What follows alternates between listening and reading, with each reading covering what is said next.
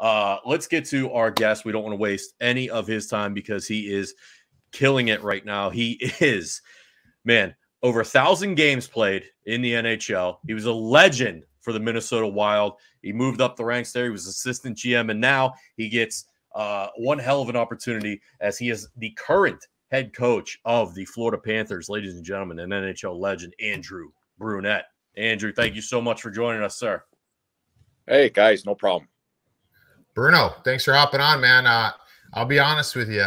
I was pumped to get you, and I was watching last night's game, and I'm like, oh gosh, like, come on, give us something. Come on, boys, come back. Give us. We want a lively Bruno on here, and uh, but what you guys are on this Western swing. You guys have been playing good though, and uh, just kind of what you just ran into one last night. Yeah, we ran into one. You know, a, a tough. You know, you're you kind of back to back, and then you make a you know long trip out west, and um, you know you kind of caught in between days, and and you know Calgary's a desperate team. They kind of steamrolled us a little bit earlier and we weren't maybe on our on our game. So it happens. It's hockey. We all we all understand those parts of the season. Yeah so you know what? I, I like to stick with talking about the panthers uh, and i'd like to get some stuff about you and your playing career and, and kind of getting into coaching maybe at the end here but um you know it, this is a team that I, I, I love watching. I love watching the style. You guys kind of check all the boxes, right? And, and when you're looking up and down that lineup, I'm like, this guy makes this guy makes an impact on every game. This guy can do this, and, and you guys kind of got that that part covered. What kind of came together? I mean, you guys were a good team last year as well, but what's kind of come together this year and really kind of ignited you guys? Well, I mean, I think last year, you know, to me, the process kind of started last year. I think, um, you know, we we really got into a you know a really good start. Um, you know, and we kind of we're highly competitive. And, and I keep saying, you know, we played Tampa and Carolina so many times, and those teams made us better.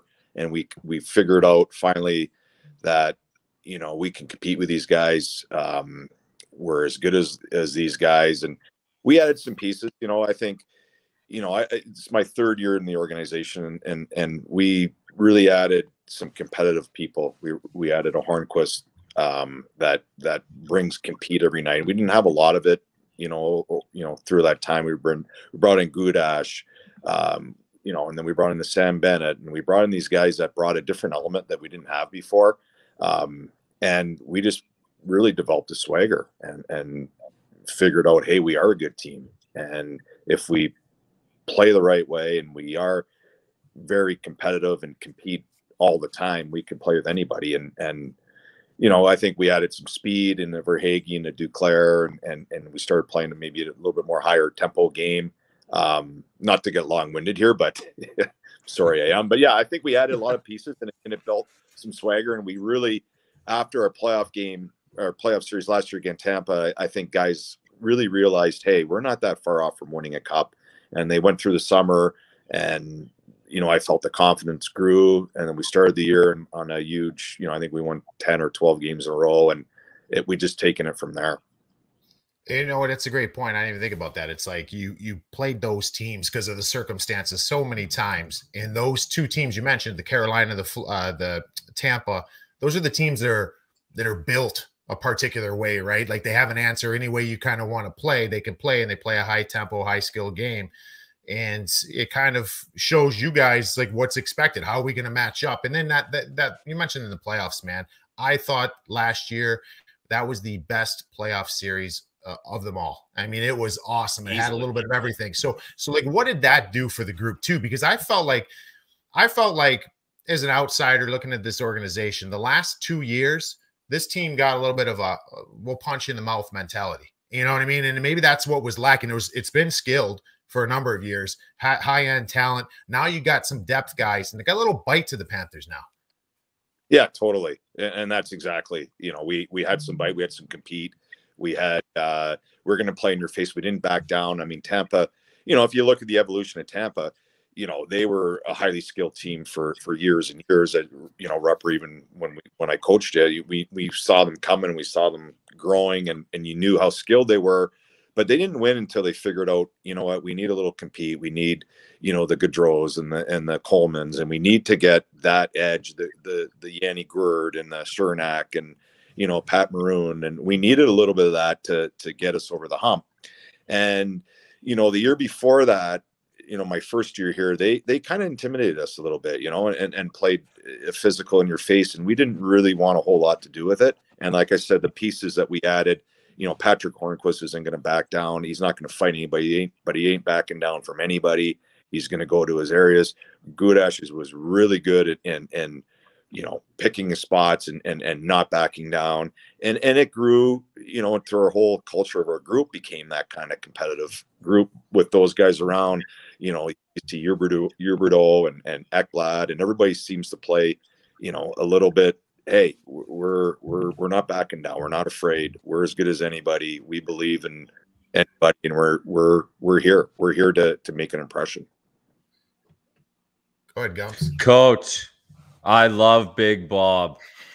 Absolute legend. How nice is it having a stable guy in net like that night in, night out on a team? Well, you're spoiled, and and I say this all the time.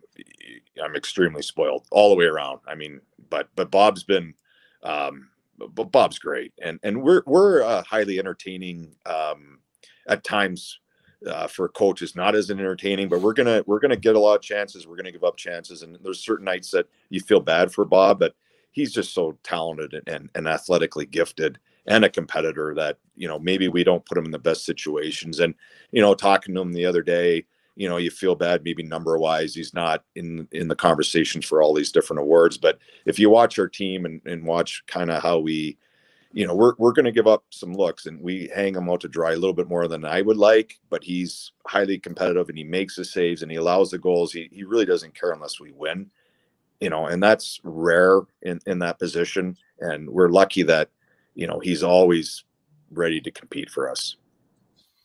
I got to ask you though, Bruno, because uh, you mentioned that I had you as a coach in Minnesota, and so I got to know you. Then, obviously, I I played against you. Um, I knew about you. I knew, hey, guys, you guys have seen the goal, biggest goal in Minnesota Wild history. We'll get to that one a little bit later, but uh, you were like, you were that guy that just connected with the players, right? Like it, it was, you, you, came to the rink and it was you and Darby Hendrickson. It was like, I, I was pumped when you go in the rink and you see you guys, right? And we get to work with you guys before practice, after practice, all that good stuff. Even before we came on here, I posted something on social, and I there was two players in, in the league still that that uh, sent me a message like, "Oh, we're going to tune in. Bruno's the best." So I guess my question to you is, how do you translate? Like, you go. I talked to Tony Granato about this before too, because he went from assistant coach to a head coach and then back to assistant, and and it kind of difficult. Did, did you find that there was any? Because you're you're kind of there as being the middleman to some degree and kind of being that bridge, and now all of a sudden you're in this head coaching position. Did you have to change things? Is, is that something new? I mean, it, it, it, you know, it's different, and and the players look at you. You know, Rupper, as we all know, they always look at you differently. It's easier to be an assistant coach than a head coach, and and I understand that. But I, I think for me, you know, I just wasn't going to change. I am who I am, and um, you know, I care deeply for my players. Um, but you have to make hard decisions, and you just hope you're open and honest with them. And you know, sometimes they understand, sometimes they don't. But I always feel it's in the best interest of you know the team, but also communicating with the player that, you know, how much I understand what it's like to be a player. And I, played a bunch of different roles. Um, and it's hard. It is really hard. And it's not always fair, but I try to make it as honest and open as I possibly can. And I believe in my guys always, and I want the best for them. They sometimes can't understand it, but at the end of the day, I do. And, uh, you know, I think players are very, very perceptive. So I think if, and, and this is a really difficult situation, it's different if you go into your own team and you have your own identity. But if you change, they see right through you and you're done. And and I think you know authenticity is huge. Um, to be to be a leader, to be a coach, um, to be a you know a good teammate. Authenticity is huge, and I felt I was I've always been those things, so I haven't changed. Um, it is different, like I said you know, when you play three and three, like, you know, Rupper Rupper had the great has the greatest backhand of all time. Actually, his stick it was so straight. you remember that? best, backhand had, of all time. you know what, Bruno? It was funny. I, I had my first my first NHL training camp. I'm drafted by the Islanders, and training camp was in Lake Placid. And I go out there and I, I say my draft year whatever. I didn't I didn't score much. I was like kind of a I was a project, right? So I had like 16 goals my my rookie year in the OHL, and I I remember 12 of them were on my backhand. And I came into I came into uh, training camp, and I'm at Islander training camp, and all of a sudden the, the, the practice ends. We had a scrimmage. Mike Milbury, the GM at the time, obviously comes down on the bench and he and he walks out on the ice. So Zamboni's getting ready to come out. Everybody else off the ice. He walks on the ice in his shoes, and I'm like, oh gosh. He's like, he's like, if you he goes, if you go to your goddamn backhand one more time, you'll be going back to Erie on the next on the next play. And so he came out there and he was making me do all these shooting things that I like. And, and so the rest of the training camp, like I was afraid to use. I eh, you know what? I used it so much. I'm glad you recognized it, but I yeah. I got punished for using it. it was a weapon. That nasty curve. That nasty curve, the, the straight stick, right? Curve. You'd pick it up. I'm like, holy shit! But then you'd you'd have that. Oh, sorry, I can't say that. But you had that backhander. I, I just like, and we played three on three. And I guess part of being a head coach, nobody wants to play three on three with you, or they they they rough you up and and run you. But as an assistant coach, is the best part ever. It wasn't as much fun for the players because they usually weren't on the lineup, but we tried to make it fun.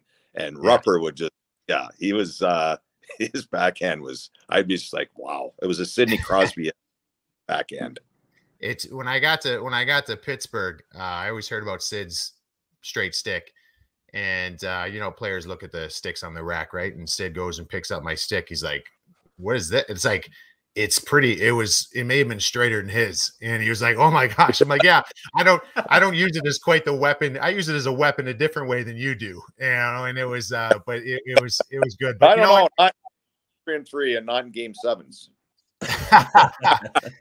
uh, hey, you know what? I want to ask you about a couple players yeah. and um, a couple guys there sure. that I, I, I love watching from afar, man. Um, it, and you know, Mike Johnson said it to me the other day. I don't know if it's around your guys' room or whatever. He referred to Ryan Lomberg as Lamborghini, and it's the coolest yeah. fucking name. I, I love it. so Lamborghini. I watched this guy, and maybe it's me because of the style or the way that I had to play the game. I feel like this guy makes something happen almost every shift. Like eh, you know, it's not the prettiest thing. It's not always, but but he makes he creates chaos on the ice, and, and that's one of those guys. You mentioned Patrick Hornqvist. Like, you, what is what does Lamborghini bring your lineup? Well, he brings. I mean, he brings a lot of energy, a lot of speed. Um, yeah, he makes things happen. Um, and and he's gonna stick up for all his teammates, and they love him. And he he he brings something every night. And what I've really been impressed with him, I think his little details of the game it, er, have been outstanding on as a you know coach speak kind of thing that where he's in structure a lot and he does a lot of the right things and and but he you know he's a contagious type of personality and he's a contagious type of player for our team because we don't have a lot of guys like that. We're kind of built on uh, being a you know, kind of a skilled uh, offensive team. And he brings this dimension. Not that he doesn't have skill. I think he has really sneaky skill but he brings a different dimension to our group that's so important for us. Um, and you know, they they've Lamborg- Lamborghini's the maybe the best nickname of all time.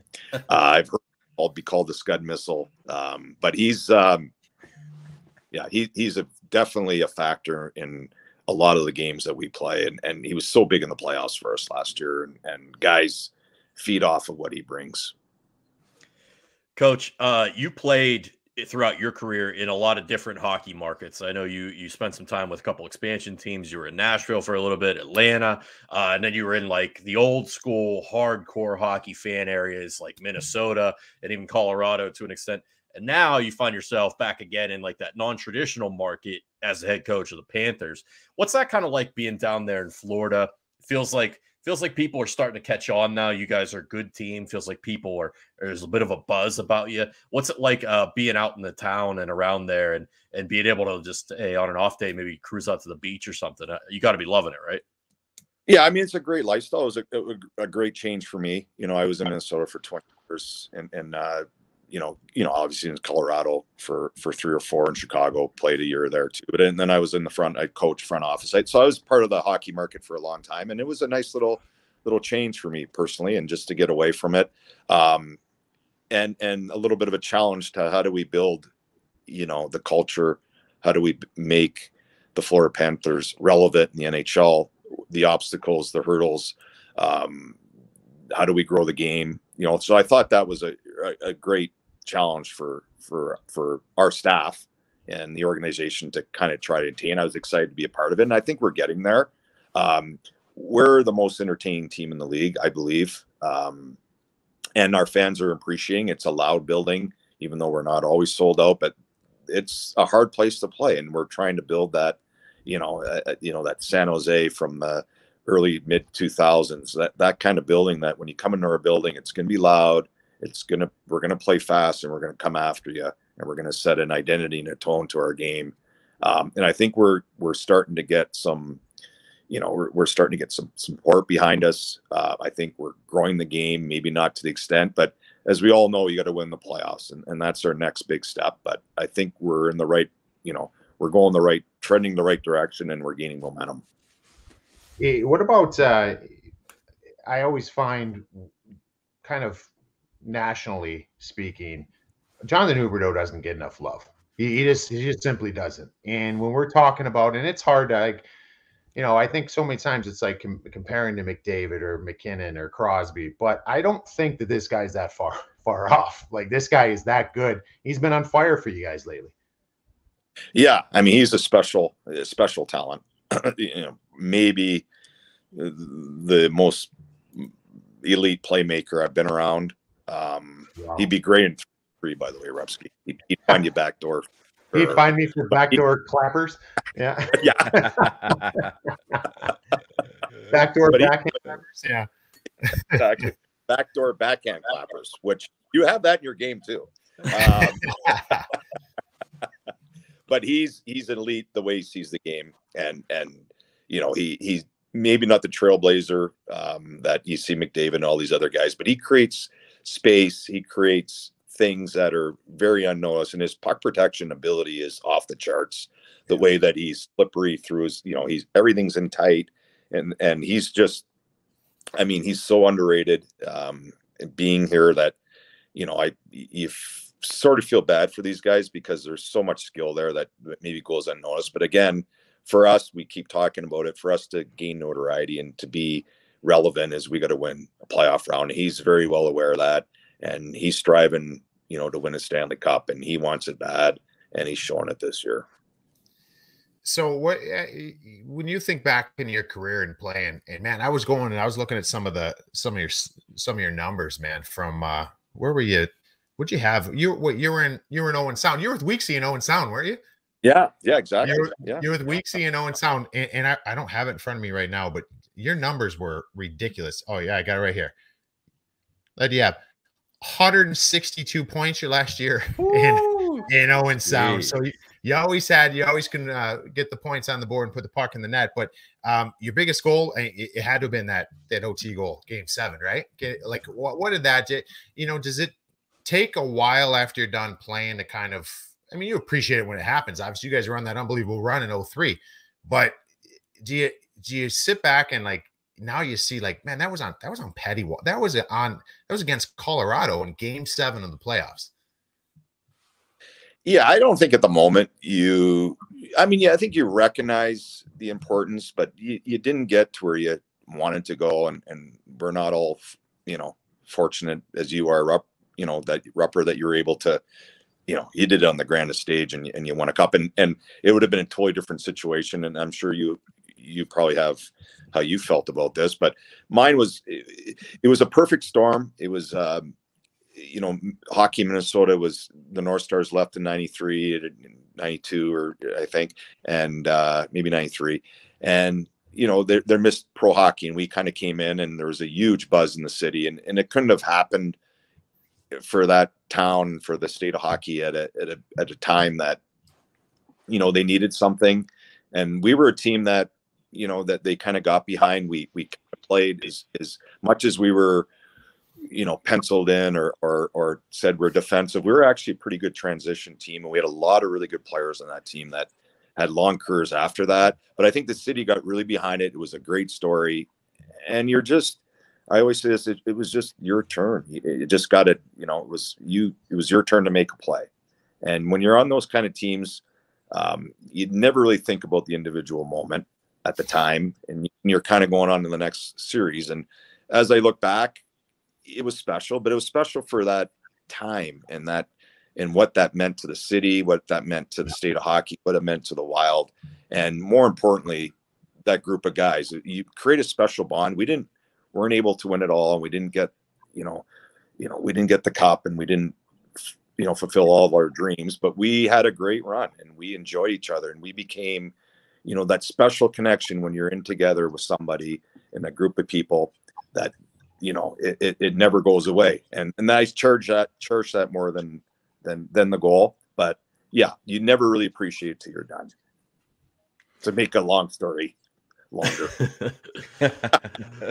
bruno i got kind of a follow-up on that so uh, yeah. growing up i was i'm from pittsburgh i was always a huge penguins fan uh, but i also kind of pulled for the avalanche out west i don't know what it was but joe sakic was a, was a huge uh, idol of mine i kind of looked Joe. up to him in the way he played and and Rupper just mentioned that goal in that game seven in that series. And I just remember watching that, and it was you and Pascal Dupuis. And you guys just seemed to show up in these moments, and it kind of like ripped my heart out as a kid. And then years later, Dupuis is a penguin, and I'm cheering for him. And then you actually end up, uh, I can't remember if you signed or if you were traded. I think you signed with Colorado, and uh, you're riding shotgun playing on the wing with Sakic. Can you talk a little bit about what that was like, making that transition, going over to a rival, and playing with Joe, who was probably one of the, in my mind, one of the most underrated players of all time? Yeah, yeah, for sure, the most underrated player. Um, Joe had an uncanny ability to recognizing moments in, in games, and and the bigger the game, the better he was, and he was such a joy to play with. Uh, his intelligence was off the charts, obviously, um, but he was also very selfless. Um, he was never about him. He didn't want any of the spotlight. He just wanted to be one of the guys. And that was, you know, to be around a true superstar. Um, I was very fortunate to see that part. And I really appreciated, you know, his personality, how he went about his business, how he treated all his teammates. There was no ego. It was just Joe being Joe.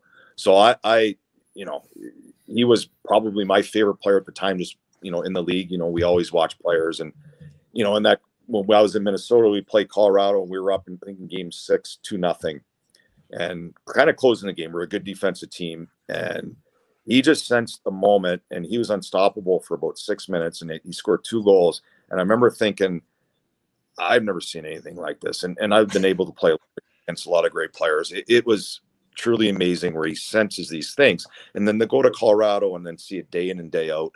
Um, you know the overtime goals that you know I was part of that he would score in the playoffs or just something simple as as a face off where you know he might have got licked all night but when the game was on the line he never lost that one and um, so it was a very special time and I was very fortunate to play with him and and we had some good chemistry and we remained good friends more importantly he was you know a better as great as a player he is he's a greater guy off the ice so I was very fortunate you know the highlight of my time playing there you know, you just mentioned uh, playing with him and, and a guy that we have in common that I really loved playing with. And uh, I, I, just liked his style.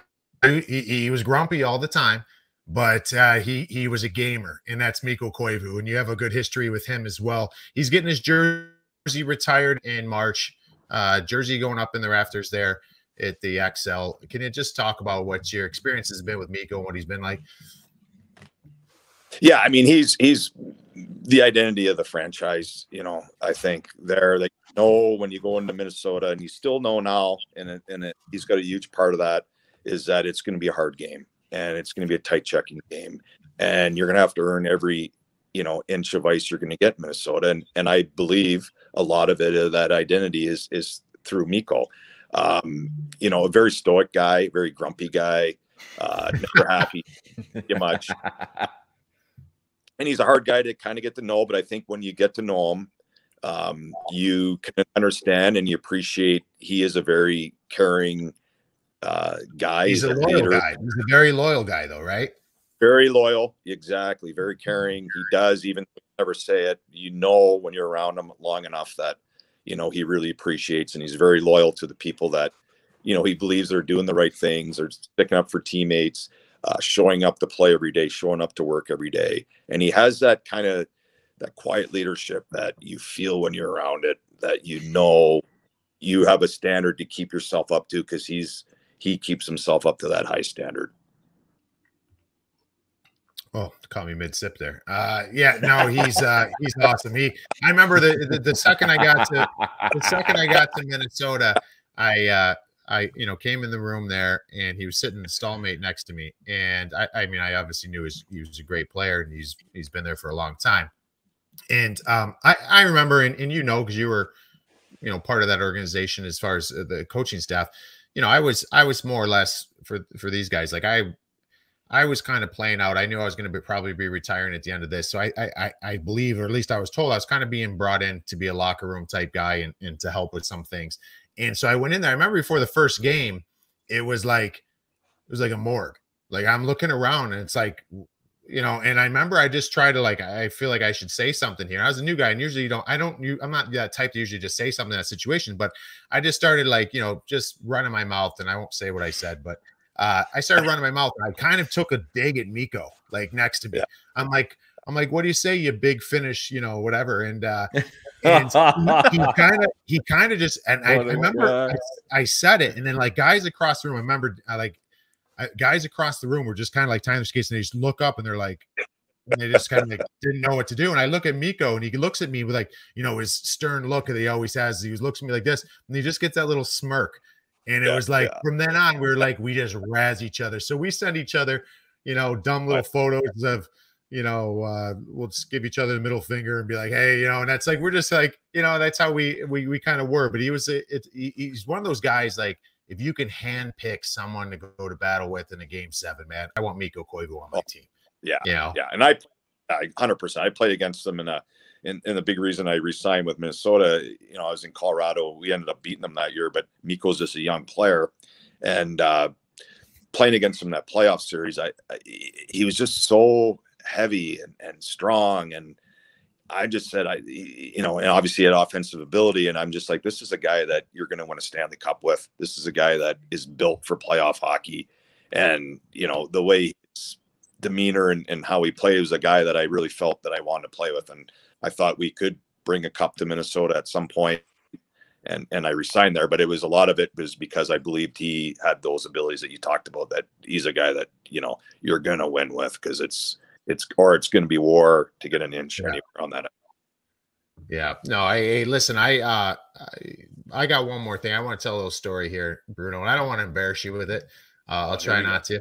Uh, but so th- this is no, this is a, and I mean this like because when I was there and you talk about us playing three and three and doing all those things, and and you know, fellas like you know, they're like Bruno's job. Like, these guys are keeping everybody ready, right? Like I wasn't playing in Minnesota. I was I was a scratch most games there, and just making it lively, making it fun to come to the rink. So I love going in there. Like I said before, I love seeing Darby. I love seeing Bruno's face coming in there. We joke around and and we had a good thing going. I remember uh, I remember we were in San Jose and uh, we were in San Jose late in the season. And, and I, again, I'm playing out the year. I think these guys, these guys have been through it, man. They played in the league for a long time. They knew that they, you know, they check in on me. How you doing, man? You doing okay? Because I was, you know, I'd be a scratch for like 10 straight games. And uh, so I remember one night Mikko was actually hurt and he was he wasn't coming back yet, but he was traveling on the trip. So Mikko goes to me, he goes, Hey, Rupper, you want to go get a couple beers tonight? I'm like, yeah, let's go. So we went out to dinner and we had just a couple beers. And then he's like, uh, we went and had a couple beers somewhere else. And then he's like, uh, let's go to that Irish, that Irish pub on the way back to the hotel. I'm like, all right, we'll go back and have a couple beers. I mean, nothing crazy. We're having a, we're just hanging out. So we walk in this place and we walk in and Chuck Fletcher, the GM's there, Mike Yeo, the head coach, Bruno, uh, Darby, uh, and uh, you guys, the whole staff's there. So Mikko and I walk in, and we're we're just gonna go have a beer, and we see them, and we kind of like wave. You guys waved us, and I, I turn to Meeks. I'm like, "What do you want to do, man? Do you want to like?" I mean, you know, Bruno, you've been there before, like as a player, like you, you know. And he's like, "No, let's have a beer." I'm like, "All right, let's have a beer." So we have a beer, and Chuck, better move by Chuck. Chuck's like he ducks out. See you guys, have a good night, and he leaves.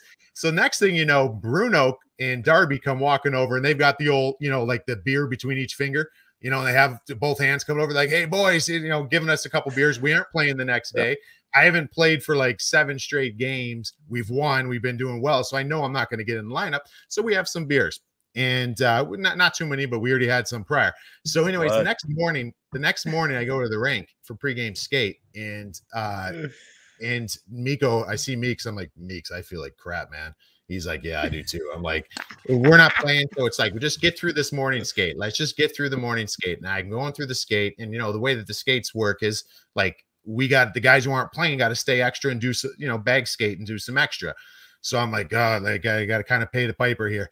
So we're out there and I'm getting ready to do the bag skate at the end of practice. And all of a sudden, Bruno skates up to me and he goes, Hey, Rupper, you can get off. You're playing tonight. And I go, and you skated away. And I was like, Whoa, whoa, whoa, whoa, what? I'm playing tonight. And you're like, Yeah, you're playing tonight. I'm like, Bruno, the fuck? You you you were feeding me beers last night. Why aren't you telling me I'm playing now?